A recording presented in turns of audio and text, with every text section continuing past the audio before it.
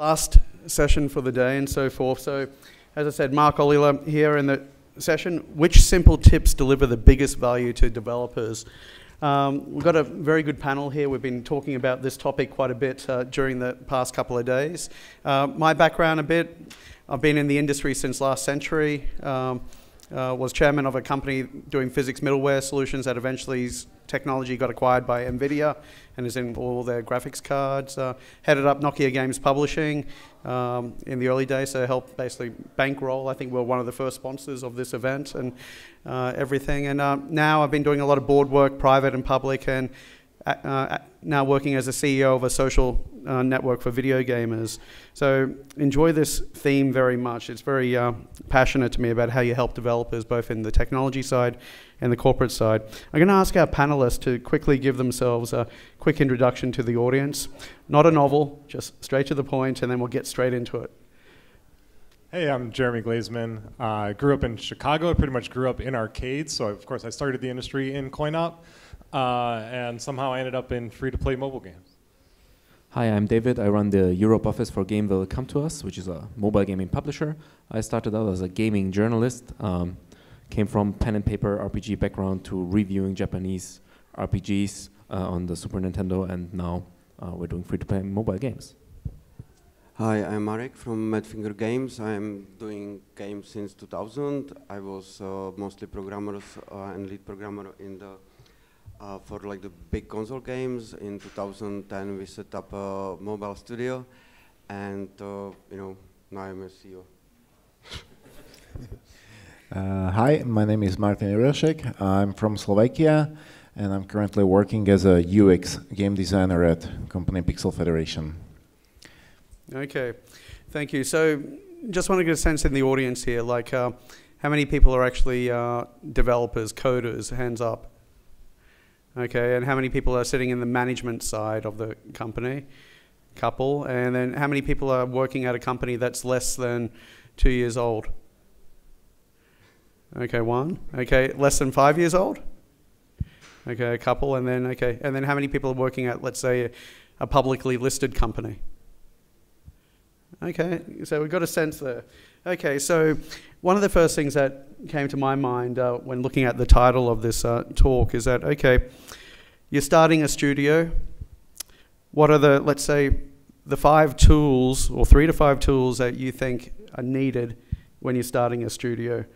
Like you're starting from scratch, you want to become a developer, and it's not about only the programming, it's about setting up a studio. What are your actually three to five most important tools that you recommend that the audience walk away with if they want to go ahead and start their own studio. Leave corporate, do your own thing. So, randomly, let's start with uh, the one with the mic. uh, well, I have some experience with this. Uh, not really actually starting a studio. I'm just a programmer after all, but. Uh, a lot of the projects I've worked on have actually was there on day one. So Bigpoint, I was there when they opened their studio in San Francisco. Uh, the studio that eventually became uh, Nexon, I was also there on day one. So I've started a lot of projects on day one. Uh, and so things that have really helped me out, you know, starting from day one, what what do you need to be successful ultimately? Um, so of course you need some game engine. Unless you're building a game engine, don't build your own game engine. Like unless that's your product, don't do it. It's it's a terrible idea. Um, also, uh, build system. I think build system on day one. How are you going to test this thing that you're making? If you can't, especially on mobile or on console, if you can't put it on device, you know, very easily, you're not going to play it, and then you're not going to get, you know, the, the, the, feedback even from your own uh, team, let alone from other players. So really, build system on day one, I think, is very important. Uh, and then a way to collaborate. I, I, was thinking about this from a tools perspective, but uh, Mark made an interesting point uh, about collaboration. So I was thinking, you know, Google Docs, Google Sheets, uh, Source Control, Jira. What are ways that you're going to share ideas with your team? And Mark made a good point. Just sitting in proximity with your team is very important, right? So especially in the early days, so you can uh, really share all of your ideas. Um, yeah, I think that's also very important. Okay. Mm, yeah, uh, I also worked on on a on a game game project from day one, and I've been working there as a lead game designer, so I can tell that my favorite tools are pencil and paper, definitely, then whiteboard, so we can share an ideas. So communication with the team is really essential from the day one. And once we move about, uh, once we move uh, next step further, then I would say for me as a game designer is maybe Adobe CC and then uh, Google Docs usually. And so Adobe Creative Suite was that? A creative, a creative Cloud, Cloud uh, yeah. mainly Photoshop, and nowadays I'm playing around with Adobe Experience Design. Actually, it's quite handy tool to make really fast mockups, wireframes, and then you can even make them a really simple, fast prototype. So. Okay, Marek. it's depending what kind of the games you want to make. I think if you are looking for this uh, answer, then you want to make some like the smaller games, so you need only Unity and you need uh, maybe Photoshop, and that's all. You don't need anything else, you know. You don't need like the Google Docs. You don't need management forever, like the why. You know, just create the games and see if it's worth. If you have talent, then do it, and everything else will come later because when you will grow up, then you will find that you have issues with the management, with the whatever. So you will find these tools and like the build it just organically.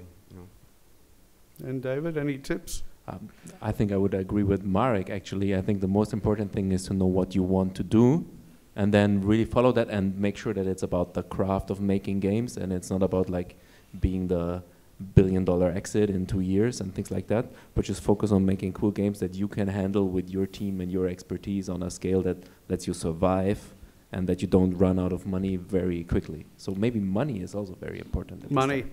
So the focus that just summarizing your answers is that don't use your, don't build your own SDK or own engine unless that's going to be your core product.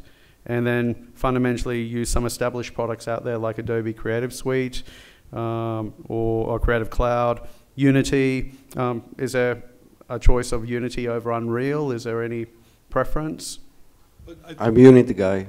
Unity? Yeah, see, I think it's really whatever fits your team. I mean, yeah. if you put together a team of Unity developers, don't use Unreal, right? Like, it's probably a bad idea. So really, you know, work to the strength of your team the best that you can. But they love Fortnite. okay, just bringing that up. So is there, is, is there a Mac PC debate to take? Well, Mac, obviously. no, use like the, what you love to use. It doesn't matter. I'm trying to cause a fight here. So, okay. So um, what about like... Um, things like testing the game and so forth, like any tips or tools specifically for that? And when you go live, is it anything different? Any tips or tools that you need to have in play for that?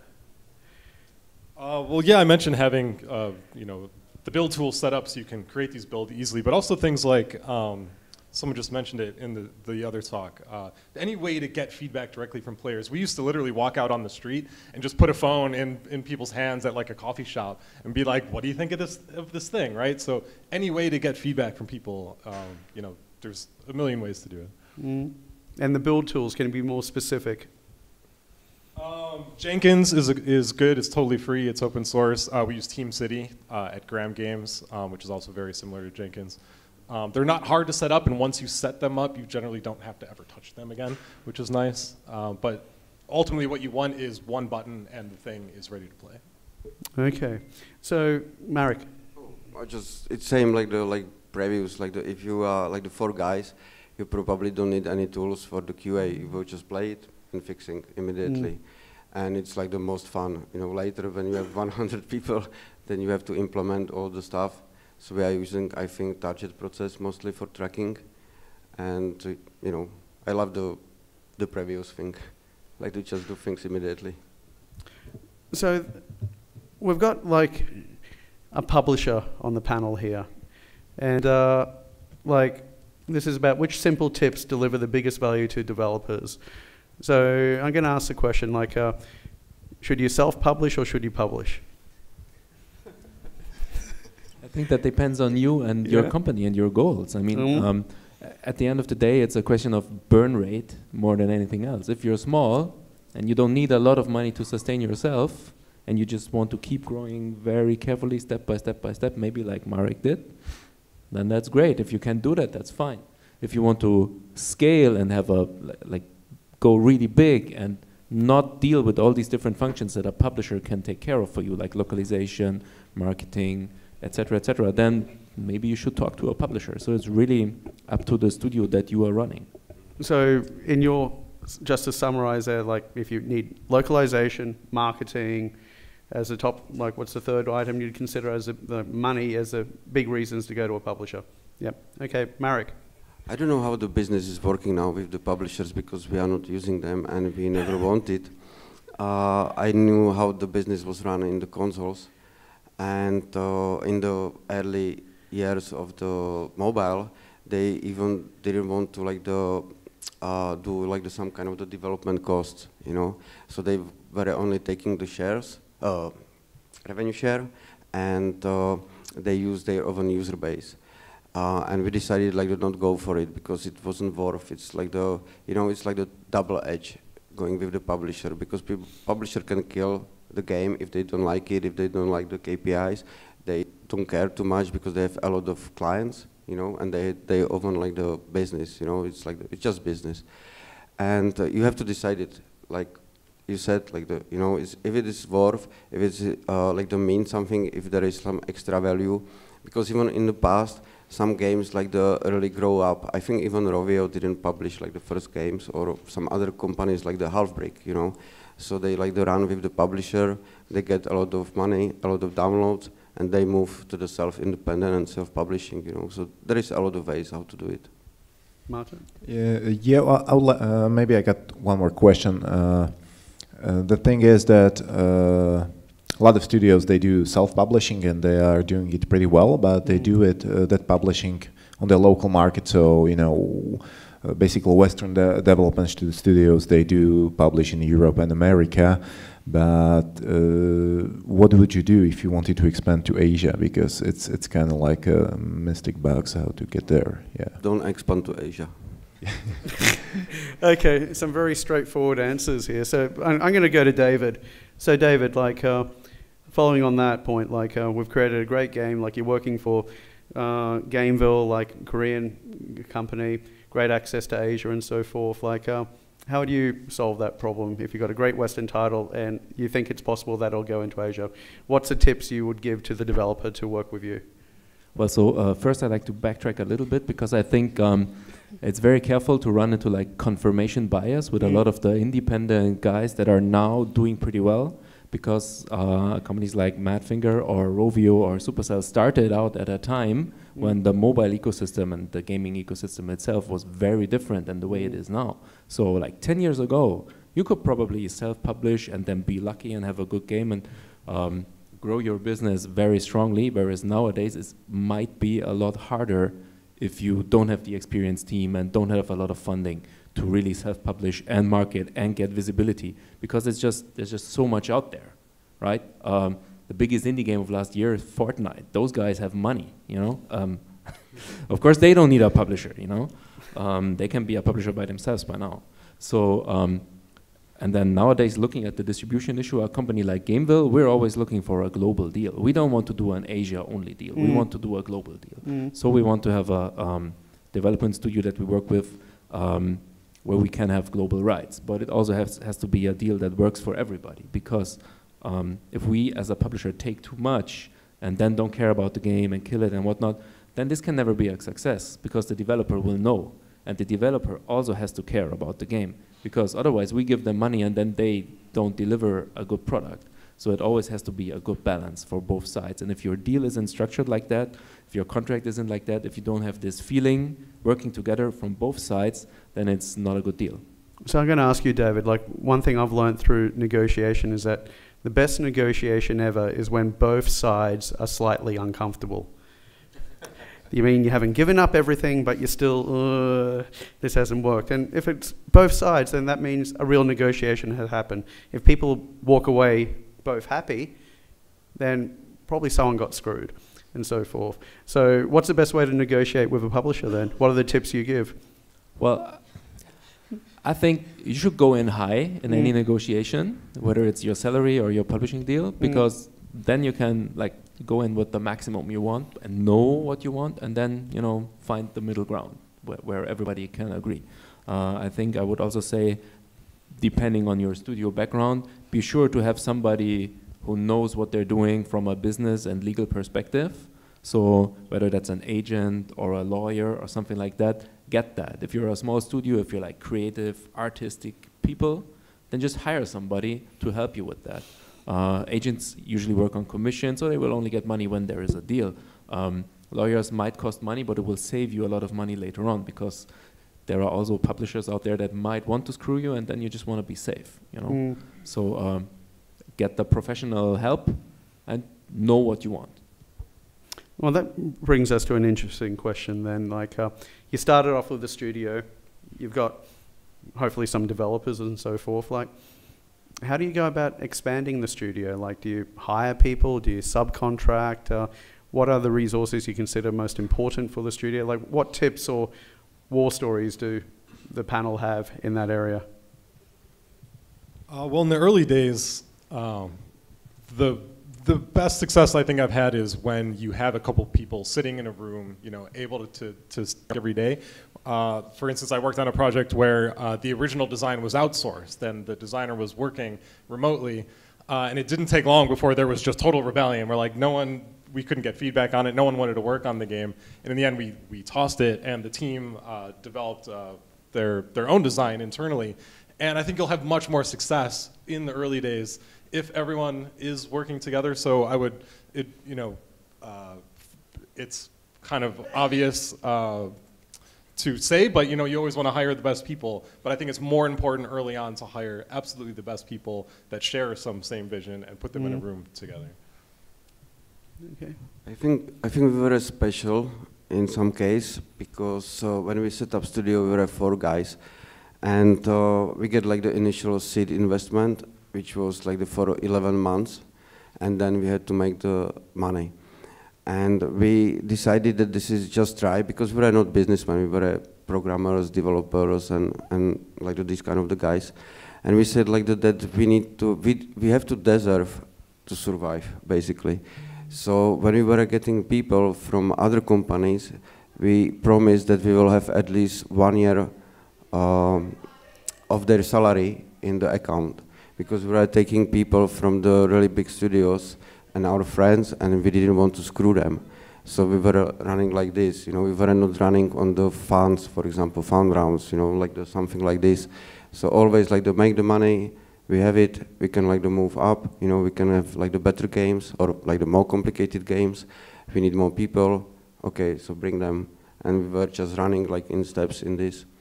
And yeah, that's all about this hiring. By the way, the best thing is like to get the friends, you know, or people who knows, like on the beginning, like the, who you know, you know, who, who you can trust, not like the somebody from the agency, you know. So, with the, like uh, David brought up a brilliant point about that the industry has changed quite a lot over the past 20 years. Um, and uh, the question comes in is that like technologies have changed. Like many years ago, you're developing your own game engines. Now it seems everyone is either using Unity or uh, Unreal um, or Roblox, if you were here earlier. Um, so, question I have is there like what else has changed? Because like I think maybe even development processes have changed, and uh, what's important has changed in terms of uh, um, what you're delivering to the end consumer. Um, what what recommendations uh, do you have uh, other than uh, uh, what works for the team? Because what works for the team could be just an old pattern they learnt from 15 years ago, which is not being used today. So I just want to get your sense of uh, everything from the development processes, prototyping, development style. What, what war stories again and tips do you have in that area? So I think one thing that has changed is the way how we talk with the Mm. players. Mm. Uh, 20 years ago, there was like no communication, right? Um, nowadays, I think players really expect um, to have a direct line to the developer. So as a, as a game developer, you should consider how you want to do that, how you want to make yourself available to talk with your gamers, and ho- how are you going to keep them up to date on what's happening in the game. How are you going to explain the direction you're taking with the game that is live? How are you uh, setting them up to like buy your game or install your game before it's out? I think that's very very important, and I feel like a lot of um, developers or development teams, even like inside our company, um, they don't want to talk about their game. They wanna, don't want to talk about like new features because it's not fixed yet, or they don't want to show the new character because it's not the design isn't final. Um, but there are ways around this uh, where you can still share information with players. And I think it's really, really important to, to think about how are you going to do this? If it's just a Discord chat that maybe So- you do as a small company, or like you're really big, you know, whatever. So PR engagement strategy. with parts of the user base from the get-go as you're in the development process. Okay. Uh, yeah, I totally agree. Uh, in our company, uh, our community management department is quite large. Actually, we get, we got around. I'm not uh, right now. I'm not up to date, but somewhere around 20 people, and every community manager is dedicated to the to the specific game, and they are in a basic, basically they are in a daily touch with with our players, with the most engaged players, and uh, there are many advantages of this approach for us. Uh, um, when I did uh, some UX presentations, I said that our key to success is the community management because for us it's it's like a source of it's the source of qualitative data and even our CEO he still has around like 5,000 friends on Facebook and a lot of people are still messaging our CEO uh, about the updates in the game that they don't like it and they, they like that and and that and other stuff. And it's quite funny because once we do an update, they, they really like, they always send a message to him like, thank you, Mr. Shitsko, for amazing update. And, mm, well, back in the days when they were a small studio, he, he used to be a graphic designer and he participated a lot on our projects. But nowadays, it's like, once we do a good update, they send a message to him, thank you, Mr. Shitsko. But once we mess up our updates, they, they send him a message like, oh, your team, they are so stupid, like you should fire them. So, you know, we, we never, uh, you know, our CEO is the best in, in the eyes of players, but uh, we should get fired every, like every two weeks. I, I, should ha- I shouldn't have been in that company like five years ago, I guess. So great source of, uh, uh, it's a great source Yeah. of qualitative data. I think the biggest change change is like the when we move from the pre, pre, uh, premium games to the free to play, and basically change everything. You know, when you are playing the premium games, you feel the value immediately because you spend a lot of money on it, and uh, it's still visible. Like the I played a lot of Dark Souls games, I finished them, but the first like the initial like the level, I almost killed them. Like to throw it several times away, and I hate them and ba- basically they didn't care. You know, I have to find everything by by myself. Uh, in the in the free to play, they don't feel this value. You know, it's like the more about the consuming stuff. They have a lot of games. They can try it, download it. Everything is fast, and you're fighting for the player like the since beginning. You know, really. And uh, this changing the design, like the I call it like the from the designer-centric design to the player-centric designer. So you have to always think about him, like the what you are doing to him, you know, what uh, they should feel, you know, or what they are feeling, you know. You can have like the really great ideas, but you really have to like the think what's the player behavior, how he will understand it, and um, it's it's not easy, you know, because a lot of people are still doing this. I have super idea, I will implement it, but you can screw a lot of things. So this is the biggest change, you know, what I see, and it's not easy. Which by the way is something that a good publisher can help you with because they might have a producing team that has done these things in the past. Awesome. Sorry. Awesome. When I when I think about the uh, the CEO comment and so forth, I was uh, thinking, yeah, I'm one of those customers because like I love Clash Royale. I play an hour of it every day at least. And on this past weekend, I actually emailed Ilkka Paananen directly about something I found, and he said he'll fix it and everything like that. And he responds all the time, and I'm grateful. But brings me to the next point, Supercell. In the press, there's a lot of talk about the Supercell structure, the cell system they have in producing their games and all that. And I'm just thinking about the organizations that you've seen in the past and what tips you have now going forward uh, in terms of development processes. Again, like is it like agile, waterfall, or do you go for the supercell? Is there a best practice you recommend today as the tip? Well, I can tell what I wouldn't recommend, uh, and that's the waterfall process. Mm. That that's the something that it it is still work. Basically, it's implemented in many companies. Uh, never, the, uh, whatever. If you do the games or applications, mm, waterfall. Nowadays, it looks like it's it's not a good for development of games because you know if you, if you approach the development with the style that ga game designer develops a feature, he writes the documentation, then he gives gives it to art direction, then it goes to the developer and developer cannot find answers to his questions, then it gets back and the whole feature development gets delayed uh, like like twice the, of the original mm, estimation. So, Mm. so that is the something that I definitely do not recommend. And so the tip is that uh, once you start developing a game, always try to do the review, the mm, the retrospective uh, mm, retrospection. Uh, try to do the feedback with your team, what worked, what didn't work, and always, especially as a product product, product manager, you should try to find the new ways uh, how to how to approach your current needs of the project. Because at the beginning, you might be doing well with with your with your waterfall, but after I don't know two or three months, when the game mm, uh, when your team is bigger, when you you get a lot of features in your pipeline, maybe you should you should try to find new solutions because you can get stuck easily. Uh, yeah, I mean, I agree. I wouldn't recommend Waterfall, but it doesn't mean it couldn't work for someone. I think the Gamasutra a few years ago did the, something called the Game Outcomes Project that found absolutely no correlation between you know that sort of what a team used as their development process and the success of the game. Uh, and that, I thought that was actually really compelling. Uh, I think it's much more important to be flexible to um, really the I think the main point of taking from the Supercell model is the team is autonomous. The team is allowed to make its own decisions. They're empowered to change the process. And again, I think uh, especially working on small teams, the best thing you can do is uh, is change your process. If, if something's not working for the team, right? Like on uh, what we used to do is maybe every two weeks even look back at the last two weeks, what worked, what didn't work, and don't be afraid to change the process. Don't lock yourself into anything. If it's not working, then you know there's no reason why you can't change it. I've always um, had the uh, view that a, process is an embedded reaction to a previous stupidity, and uh, the flexibility is uh, important here.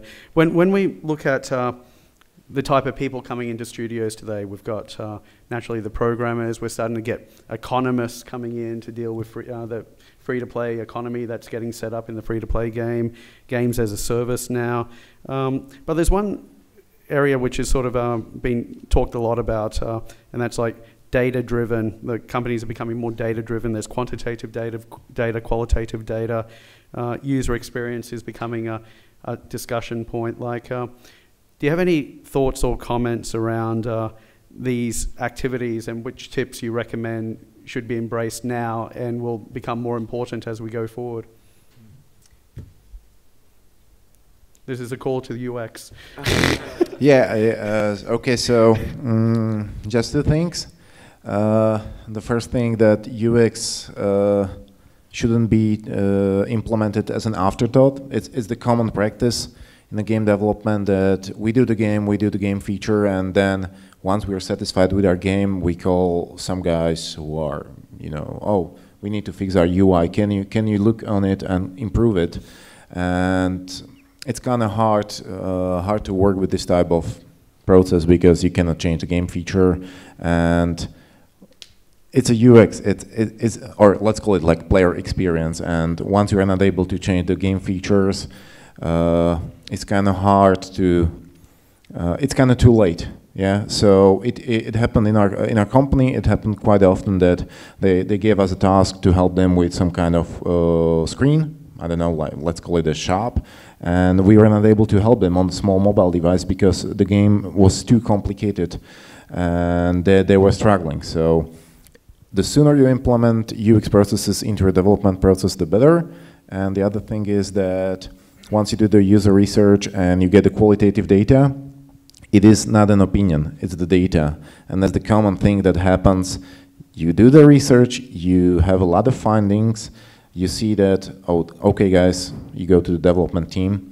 If you the best the, the ideal scenario is when you walk uh, when you work together simultaneously but uh, if it's not the case then you know you get the findings you tell them guys this is the problem this is the problem this is the problem and as long as the game designers haven't been the part of this user research they are they, they think it's just an, another opinion and they think their opinion is more mm, the better one because they they are game designers, so they think, oh no, but it shouldn't be like that. It should be done like that and that, and they do not respect it as the quali- uh, quantitative data. That's the thing, and there's always the struggle to uh, to to to put the co uh, to put the qualitative data on the same level as the quantitative data. The struggle is real. Yeah, the quantitative data is telling you like what's happened, but the qualitative is the why, and the why is important here. I'm going to open it up to the audience now uh, as we get into the last bit of the stretch here. I know you want to get outside and enjoy the sun, so um, questions from the audience? Down the back there. Oh, up the front here. Go ahead.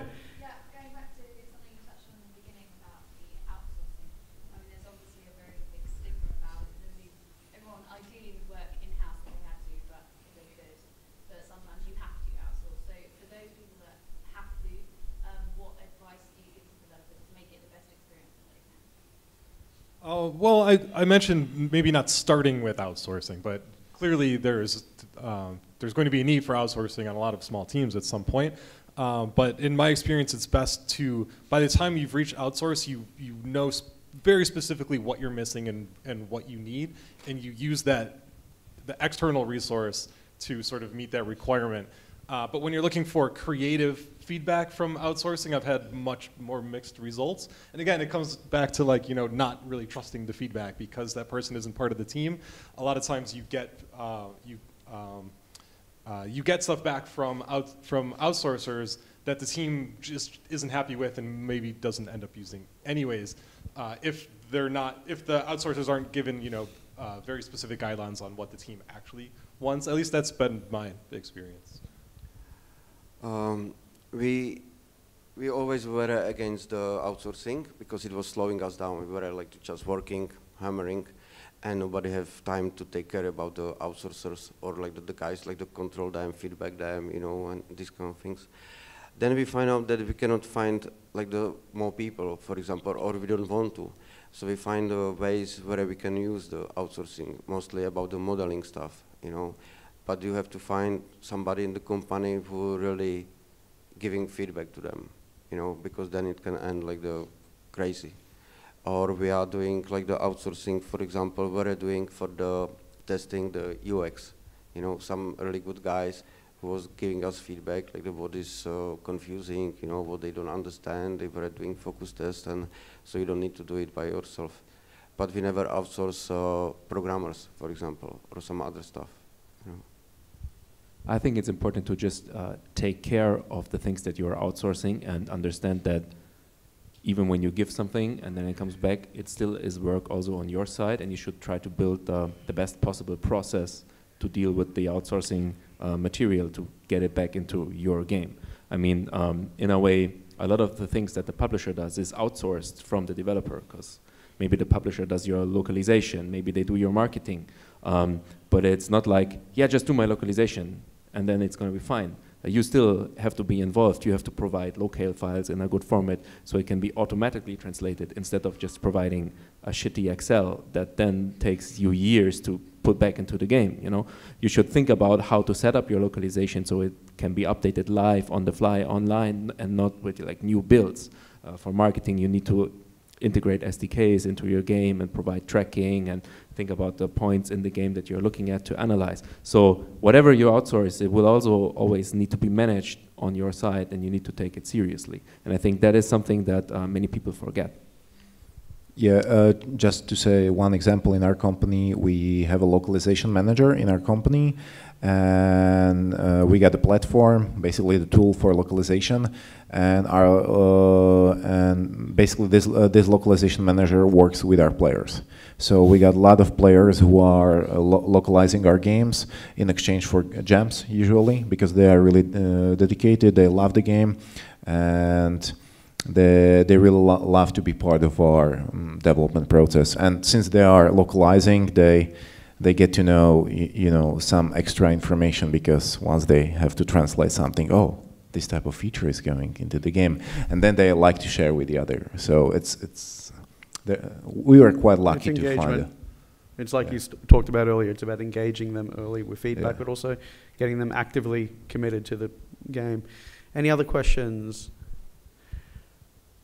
Okay, so I'm going to finish off with then two tips. Like, uh, One tip is uh, fundamentally that we didn't cover was don't have a two-person board.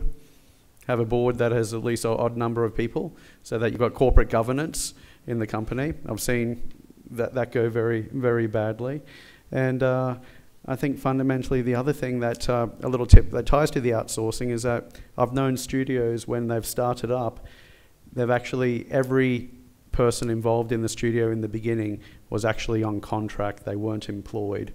And then over time, as they've seen the commitment, they actually then moved on to full-time employment contracts. So that was a matter of sort of starting off as an outsourced model and then moving to an employed model so that they could actually see what functions they wanted and believed were the most important at different stages of the company. Okay, with that, please thank the panel. A lot of great thoughts and insight.